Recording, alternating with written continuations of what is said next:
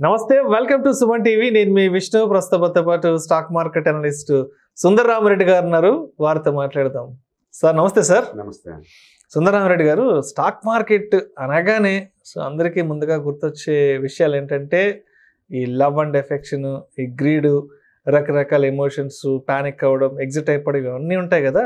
అయితే ఒక successful trader యొక్క సైకాలజీ అనేది ఏ విధంగా ఉంటుందంటారు అసలు? రైట్ సో మిగతా ప్రొఫెషన్కి ఈ ప్రొఫెషన్ చాలా తేడా చాలా తేడా ఉంటుందండి. మిగతా వాటిలో ఏంటంటే స్టార్టింగ్ అంటే చాలా స్లోగా బిగిన్ చేసేసి ఓవర్ పీరియడ్ టైంలో అగ్రెసివ్గా వెళ్తుంటారు. బట్ ఇక్కడ ఏంటంటే ఒక ఫ్రెండ్స్ దగ్గర పరిచయం అవుతుంది ఈ టెక్నిక్స్ అన్నీ. ఆ ఫ్రెండ్ ఎవరో చేస్తుంటారు ట్రేడింగ్ ఎంతో అంత సంపాదిస్తూ ఉంటాడు. అది చూసి వేరే వాళ్ళంతా ఇన్స్పైర్ అవుతూ ఉంటారు. డైరెక్ట్గా ఎలాంటి నాలెడ్జ్ కానీ ఎక్స్పీరియన్స్ కానీ ఈ టూల్స్ టెక్నిక్స్ ఏమీ తెలియదు డైరెక్ట్గా ఎంటర్ అవుతారు. ఎంటర్ అయినా మార్కెట్ అంత సుప్రీం అది. అది కొన్ని రోజులు సైడ్వేర్ ఉంటుంది కొన్ని రోజులు అప్ ట్రెండ్లో ఉంటుంది కొన్ని రోజులు డౌన్ ట్రెండ్లో ఉంటుంది. సో ఈ మూడు సైకిల్ అయిపోయే లోపలనే మనోడి పని జీరో అయిపోతుంది ఆటోమేటిక్గా. అప్పుడు బిగిన్ అవుతుంది అసలు ఈ మార్కెట్ అంటే ఏంటి దీన్ని ఎలా ట్యాకిల్ చేయాలి దీన్ని ఎలా హ్యాండిల్ చేసుకోవాలనే విషయాన్ని. అప్పుడు నాలెడ్జ్ బిగిన్ చేస్తాడు ఇంకా. ఎప్పుడైతే నాలెడ్జ్ వస్తుంటుందో కొంచెం కొంచెం అప్పుడు తను చేసిన ఎంత బ్లండర్ మిస్టేక్ ఎంత అగ్రెసివ్గా వెళ్ళాడో తనకు అర్థమైపోతుంటుంది. అట్లా ఓవర్ పీరియడ్ టైంలో అది మెచ్యూర్ అవుతూ ఉంటుంది. కొంతమంది మేబీ వన్ ఇయర్కే ఆ మెచ్యూరిటీ లెవెల్ రావచ్చు. కొంతమంది it's maybe take ten years time also. అది ప్రతి ఒక్క ట్రేడర్ సక్సెస్ఫుల్ ట్రేడర్ అయ్యే స్టేజ్కి వచ్చేలోపు ఇట్ టేక్ సమ్ టైం డెఫినెట్గా. టైం పడుతుంది. చాలా టైం పడుతుంది అది ఓకే. సో అందుకని నేను కొత్త వాళ్ళందరికీ ఏంటంటే కనీసం డమ్మీ ట్రేడింగ్ ఒక ఆరు నెలలు చేసుకోండి మీకు క్లారిటీ ఉంటుందని చెప్తాను ఓకే. సక్సెస్ఫుల్ ట్రేడర్కి మిగతా వాళ్ళకి తేడా ఏంటంటే వీళ్ళ దగ్గర ప్లాన్ క్లియర్గా ఉంటుంది. అంటే ట్రేడ్ ఎక్కడ ఎంటర్ అవుతున్నాం ఫ్లాప్ అయితే నెక్స్ట్ ఏం చేయాలి? దాన్ని రిస్క్ మేనేజ్మెంట్ అంటాం. ఫ్లాప్ అయితే ఆ ట్రేడ్ని ఎక్కడ క్లోజ్ చేసుకోవాలి? టార్గెట్ ఎక్కడ దాకా? ఎందుకు ఆ టార్గెట్? అట్లా వీళ్ళ దగ్గర ట్రేడింగ్ ప్లాన్ రెడీగా ఉంటుంది. ఎంత అంటే వీకెండ్ వస్తే వీళ్ళు నిరంతరం అప్డేట్ అవుతూ ఉంటారు. ఒక సాటర్డే సండేస్ వచ్చిందనుకోండి మిగతా వాళ్ళగా హాలిడేస్కి వెళ్ళరు వీళ్ళు. వాళ్ళకంటూ ఒక సిస్టమ్ ఉంటుంది. దాన్ని వాళ్ళ రూల్స్ ఉంటాయి రెగ్యులేషన్ వాళ్ళు ఫాలో అవుతూ ఉంటారు. వాళ్ళు ఏంటంటే నెక్స్ట్ వీక్ ఏమేమి స్టాక్స్ మనం పికప్ చేసుకోవచ్చు ఎందుకు చేసుకోవాలి ఆ స్టాక్స్ పికింగ్లో బిజీగా ఉంటారు. తద్వారా ఏంటంటే మంచి మంచి సెటప్స్ని ఐడెంటిఫై చేసుకొని నెక్స్ట్ వీక్ ఈ ఆల్రెడీ మనం ఎంటర్ అవ్వచ్చు ఇలా ప్లాన్ చేసుకుంటూ ఉంటారు. సో వాళ్ళ దగ్గర చెక్ లిస్ట్ రెడీగా ఉంటుంది. నెక్స్ట్ వన్ వీక్కి నెక్స్ట్ వన్ మంత్కి ఇట్లా చెక్ లిస్ట్ రెడీ చేసుకుంటూ ఉంటారు. సో వాళ్ళ దగ్గర ఒక సిస్టమ్ ఉంటుంది. ఒక రూల్ బేస్డ్ ట్రేడింగ్ చేస్తూ ఉంటారు. సో వాళ్ళ దగ్గర ప్లాన్ ఉంటుంది. సంథింగ్ వెంట రాంగ్ ఎప్పుడు బయటికి పోవాలి క్లారిటీ ఉంటుంది. అందుకని ఫస్ట్ వాళ్ళు సక్సెస్ రావడానికి కారణం ఏంటంటే ఈ ప్లానింగే. అందుకని వాళ్ళు ఏంటంటే పేషెన్స్గా వెయిట్ చేస్తారు. తొందరపడి మార్కెట్ ఓపెన్ అయిందని చెప్పేసి ఫైవ్ మినిట్స్ క్యాండిల్ బ్రేక్అవుట్ అయింది అని చెప్పేసి ఎంటర్ అయ్యే రకం కాదు. వాళ్ళకి కావాల్సిన సెటప్ వచ్చేంత వరకు వెయిట్ చేసి మరీ ఎంటర్ అవుతారు. సో వాళ్ళకి లాట్ ఆఫ్ పేషెన్స్ ఉంటుంది. ట్రేడ్ వెయిట్ చేయడంలోనూ ట్రేడ్ ఎంటర్ అయినా సరే దాంట్లో చాలా పేషెన్స్గా బిహేవ్ చేస్తూ ఉంటారు. రెండోది క్లియర్గా ఉంటుంది. లూజర్ని వెంటనే కట్ చేస్తారు. మిగతా వాళ్ళగా లూజ్ అయితే hope it is going reversal అని చెప్పేసి వెయిట్ చేయటాలు పడిన తర్వాత మళ్ళీ యావరేజ్ చేయటాలు ఇలాంటి చేయరు. లూజర్ అంటే ప్లానింగ్ ఏదో తేడా ఉంది మార్కెట్ ఏదో ఆపోజిట్గా వెళ్తుంది మనకి త్వరగా బయటికి వెళ్దామని కట్ చేస్తారు. విన్నర్ని మాత్రం అర్లీగా అస్సలు కట్ చేయరు. విన్నర్ని మాత్రం లెద్దం ప్లై అంటారు వాళ్ళు. వాళ్ళు ఏం చేస్తారంటే కింద మాత్రం స్టాప్ లాస్ పెట్టి వదిలేస్తారు. పైన టార్గెట్లు ఎవరు? అందుకని విన్నర్ని మ్యాక్సిమం పిండుతారు. తద్వారా ఏంటంటే రెండు మూడు ట్రేడ్లు ఫ్లాప్ అయినా సరే ఒక్క ట్రేడ్ సూపర్ హిట్ అయితే ఆ లాస్ అన్ని రికవర్ చేసుకుంటారు. అది రిటైల్కి క్వైట్ ఆపోజిట్ అనమాట లూజర్స్కి క్వైట్ ఆపోజిట్. అందుకని విన్నర్స్నేమో లెట్ దమ్ ప్లై అంటారు. అంటే లూజర్స్నేమో అర్లీగానే కట్ చేస్తుంటారు. ఇది ఈ క్యారెక్టర్ ఖచ్చితంగా ఉంటుంది వాళ్ళకి. మూడోది వాళ్ళకి రిస్క్ మేనేజ్మెంట్ తెలుసు. అంటే నాలుగైదు ప్లే ఫ్లాప్లు ట్రేడ్ అయినా సరే ఐదో ట్రేడ్కి మళ్ళీ అదే ఉత్సాహం అదే అదే ప్లానింగ్తో వస్తారు వాళ్ళు.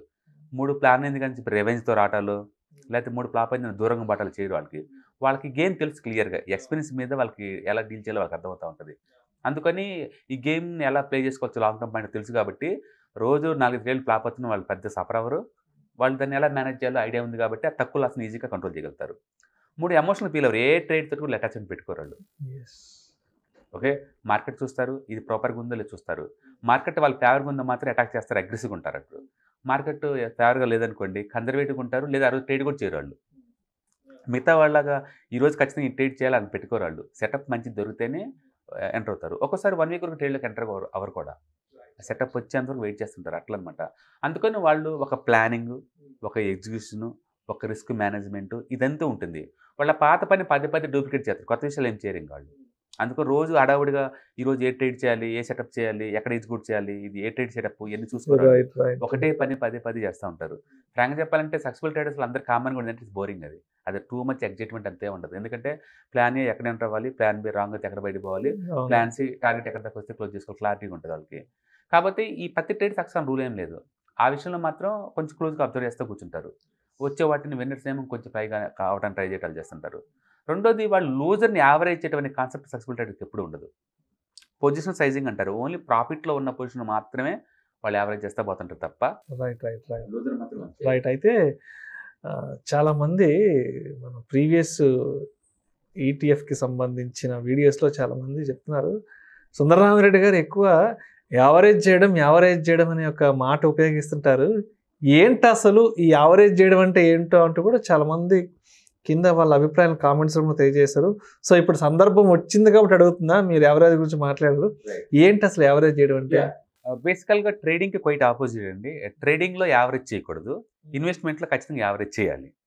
అంటే ట్రేడింగ్కి ఇది ఆపోజిట్ అనమాట averaging nothing but in dollar cost averaging అంటారు.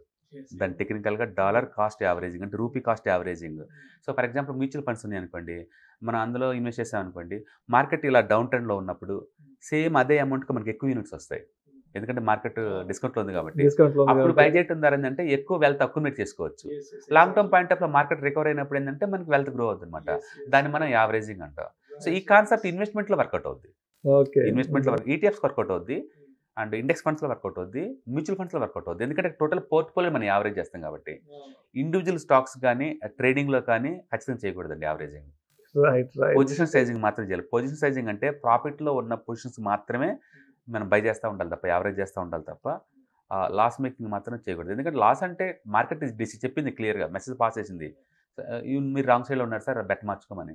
దాన్ని డీకోడ్ చేయాలి తప్ప మనం దాన్ని చేయకూడదు అనమాట అట్లా సక్సెస్ఫుల్ ట్రేడర్ దగ్గర ప్లానింగ్ ఉంది. ఎక్కడ ఎంటర్ అవ్వాలో ఎక్కడ ఎంటర్ అవ్వకూడదో ఎప్పుడు మార్కెట్ అటాక్ చేయాలో ఎప్పుడు డిఫెండ్ చేయాలో ఉంటుంది. అది ఒకటి ఎక్స్పీరియన్స్ మీద ఎప్పుడు అప్డేట్ చేయడం వల్ల వీకెండ్ టైంని యూటిలైజ్ చేసుకోవడం ద్వారా వాళ్ళు దాని మీద గ్రిప్ వస్తుంది అనమాట ఏదేమైనా మిగతా ప్రొఫెషన్తో పోల్చుకుంటే ఈ ప్రొఫెషన్తో మాత్రం రాటు తేలాలంటే it take too much time దాని మీద మంచి గ్రిప్ ఉండాలి.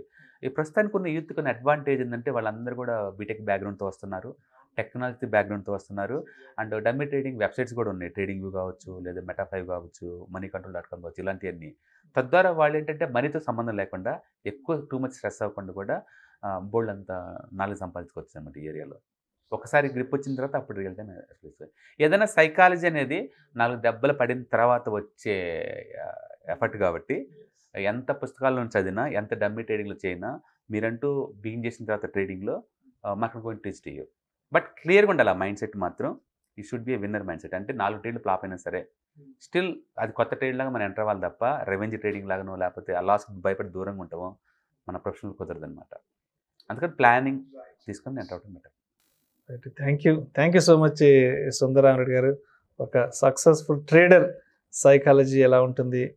అదేవిధంగా యావరేజ్ చేయడం అంటే ఏంటి అనే ఈ టాపిక్ గురించి కూడా ప్రేక్షకులకు మీ విశ్లేషణ ద్వారా చాలా చక్కగా వివరించారు. Thank you so much sir ప్రేక్షకుల విజ్ఞప్తి ఈ వీడియోలో మాట్లాడుకున్న కంపెనీ పేర్లు కానీ స్టాక్స్ పేర్లు కానీ ఇది మా వ్యక్తిగత రికమెండేషన్ మాత్రమైతే కాదు.